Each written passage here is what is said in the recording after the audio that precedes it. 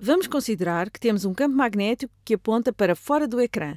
Estes pequenos círculos indicam o sentido do vetor campo magnético, para fora do plano. E dentro deste campo magnético está este fio condutor, este fio branco amarelado. E neste fio branco amarelado está em repouso uma carga, uma carga Q. Vou escrever os dados que temos. Este é o campo magnético B, para fora do plano, e vou deslocar. Vamos considerar que desloco o fio e que um determinado comprimento L do fio está sob a ação do campo magnético. Vamos considerar que o campo magnético atua daqui a aqui e que esta distância aqui, esta distância é igual a L. Desenhei um pouco torto, mas acho que percebem. Daqui a aqui é L. Este condutor, podemos considerar um fio, tem uma carga Q e o sentido do campo magnético é para fora do plano. Vamos considerar que não existe qualquer tensão inicial ao longo do fio. Ora, o que vai acontecer? Se eu tiver uma carga estacionária em repouso no campo magnético, não irá acontecer nada, certo? Porque sabemos que a força por ação de um campo magnético, a força por ação de um campo magnético é igual à carga vezes o produto vetorial entre a velocidade da carga e o campo magnético. Se a carga nesse fio é estacionária, não existe qualquer diferença de potencial entre o fio, etc, etc. A velocidade da carga será igual a zero. Se a velocidade é zero, sabemos que, sabemos que o produto vetorial é a mesma coisa que Q, é uma grandeza escalar, fica apenas Q, vezes o módulo da velocidade, vezes o módulo de B, vezes seno de θ. E nestas situações nas quais, nas quais tudo no plano é perpendicular ao campo magnético, o ângulo entre o campo magnético e a velocidade da carga, caso a carga tivesse movimento, seria 90 graus, pelo que não teriam que se preocupar com o seno de θ. 190 graus é 1. Portanto, se a velocidade ou a rapidez ou o modo da velocidade é igual a zero, a força magnética sobre a carga será igual a zero e nada interessante irá acontecer. Vamos fazer uma pequena experiência. O que irá acontecer se eu mover este fio, se eu mover para a esquerda com velocidade v? Vou pegar neste fio e vou movê-lo para a esquerda, ups, com velocidade v. Estou a mover o fio para a esquerda. E se o fio se está a mover para a esquerda, a carga que está no fio também se move para a esquerda com velocidade v. E agora as coisas começam a ficar interessantes. A carga move-se para a esquerda com velocidade v e agora podemos aplicar a primeira fórmula da força magnética que aprendemos. Podemos aplicar esta fórmula. O que vai acontecer à carga? A força a atuar na carga será igual à carga vezes o produto vetorial entre o vetor velocidade e o vetor campo magnético. Mas sabemos que vai existir uma força a atuar no sistema. Isto agora é diferente de zero. Estamos a assumir que isto também é diferente de zero. E o valor da carga também é diferente de zero. Qual será então o sentido e direção da força? Vamos aplicar a regra da mão direita ao produto vetorial. O produto vetorial entre V e B dá-nos o sentido e direção da força.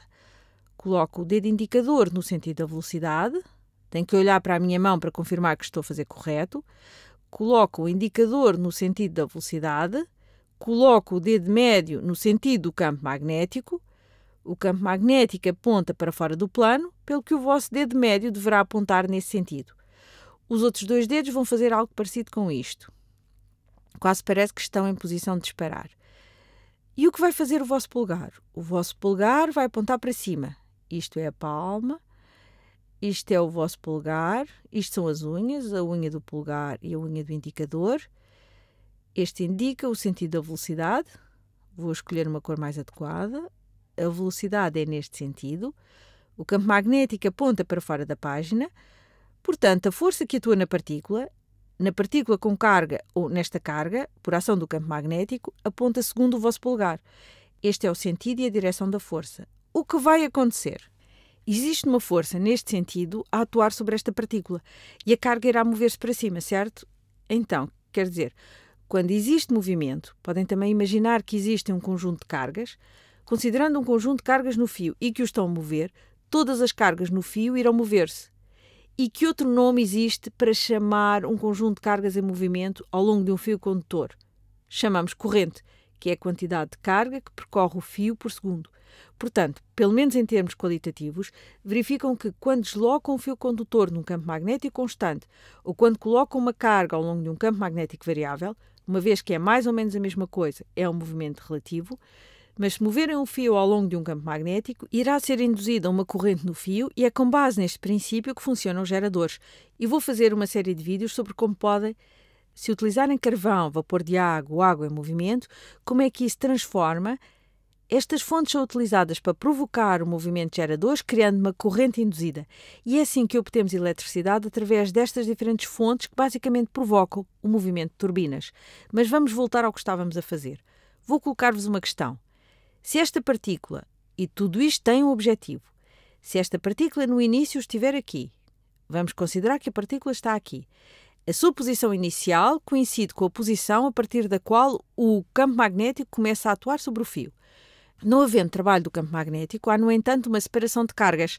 As positivas deslocam-se para cima, acumulam-se mais e mais, mas assim gera um campo elétrico crescente que aponta de cima para baixo e gera, por sua vez, uma força simétrica da força magnética. No equilíbrio, a força elétrica é igual à magnética e podemos calcular o trabalho que o campo elétrico faz. O trabalho é igual o trabalho é igual à força vezes o deslocamento, sendo que a força aqui tem a direção do deslocamento e é a força elétrica. Força vezes deslocamento, não os quero confundir com os vetores agora. Como podemos calcular o trabalho que seria realizado na partícula? O trabalho seria igual à força exercida sobre a partícula vezes o deslocamento. O deslocamento é igual a este comprimento L. O trabalho realizado seria igual a trabalho, força vezes deslocamento, é igual a. A força é esta aqui, Q, vou deixar algum espaço, vezes o produto vetorial entre V e B, vezes o deslocamento. Uma vez que nos estamos a referir ao comprimento do fio, podemos considerar que se trata de uma quantidade escalar e por isso podemos colocar aqui Q vezes L vezes o produto vetorial entre V e B. Isto é, Q vezes L vezes produto vetorial entre V e B corresponde à força vezes o deslocamento. Corresponde à expressão para calcular o trabalho. Qual seria o trabalho realizado por carga?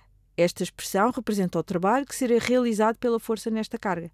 Mas existem mais cargas a percorrer o fio, por isso queremos saber qual o trabalho que seria realizado por carga. Trabalho realizado por carga. Podemos dividir ambos os lados pela carga.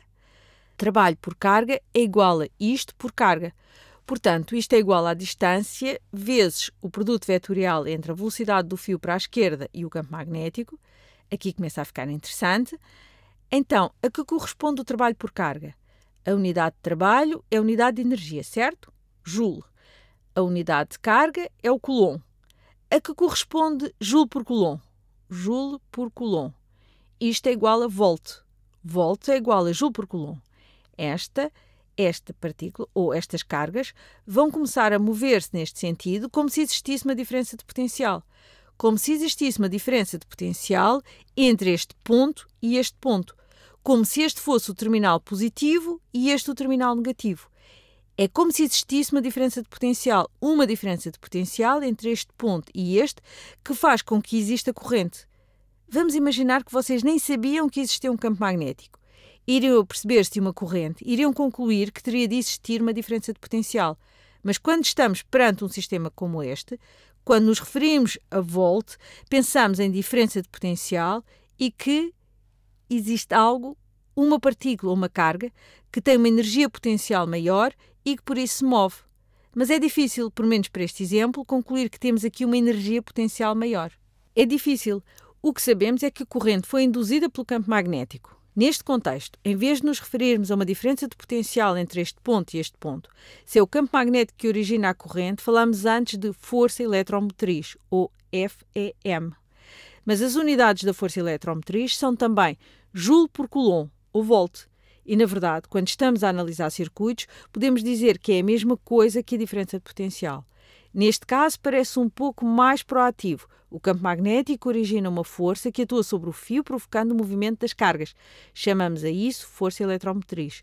Podemos dizer que a força eletromotriz, ou FEM, ou potencial daqui para aqui, são a mesma coisa, é igual ao comprimento do fio que se encontra sob a ação do campo magnético vezes o módulo do produto vetorial entre a velocidade com que movemos o fio e o campo magnético. Vamos então imaginar que temos, não sei, Vou tirar um conjunto de números. Vamos considerar que o campo magnético é igual a. Vou tornar isto simples: 2 Tesla. A velocidade é igual a 3 metros por segundo para a esquerda. Vamos apenas, por diversão, colocar aqui uma pequena resistência a ver se descobrimos qualquer coisa. Vamos considerar que a resistência é, por exemplo, 6 ohms. Há aqui uma resistência de 6 ohms. O fio apresenta uma resistência daqui até aqui igual a 6 ohms. Aliás, todos os fios apresentam sempre alguma resistência. Para começar, qual o valor da força eletromotriz? Ah, e vamos considerar esta distância aqui. Esta distância total é igual a 12, 12 metros. Portanto, a força eletromotriz induzida ou a força eletromotriz resultante no fio por ação do campo magnético é igual ao comprimento do fio dentro do campo magnético, 12 metros, vezes. Quando fazemos o produto vetorial, sabemos que a velocidade é perpendicular ao campo magnético, por isso não temos de nos preocupar com o seno θ, uma vez que θ aqui será igual a 90 graus. Temos apenas que nos preocupar com os valores. Será igual a 12 metros vezes a velocidade, que é 3 metros por segundo, vezes o campo magnético, ou a intensidade do campo magnético, que é 2 Tesla. Portanto, a força eletromotriz é 12 vezes 3 vezes 2. 12 vezes 6, o que dá 72. Podem dizer 72 volts ou 72 joules por coulomb. O fio condutor, com uma resistência de 6 ohms, está sujeito a uma diferença de potencial de 72 volts, certo? Agora, basta recordarem-se que a diferença de potencial é igual a IR, ou força eletromotriz é igual a IR. Força eletromotriz a dividir pela resistência. Se pegarmos na força eletromotriz e dividirmos pela resistência, dividirmos por 6 ohms, obtemos o valor da corrente. Força eletromotriz a dividir por resistência é igual à intensidade da corrente. Então, dividimos 72 volts ou 72 joules por coulomb a dividir por 6 ohms e obtemos o valor da corrente que atravessa este fio aqui devido à força eletromotriz ou por indução do campo magnético. Bom, receio que esteja tudo a ficar muito confuso nesta altura, mas obtemos uma corrente de 12 amperes. Estou a ficar sem tempo. Vemo-nos no próximo vídeo.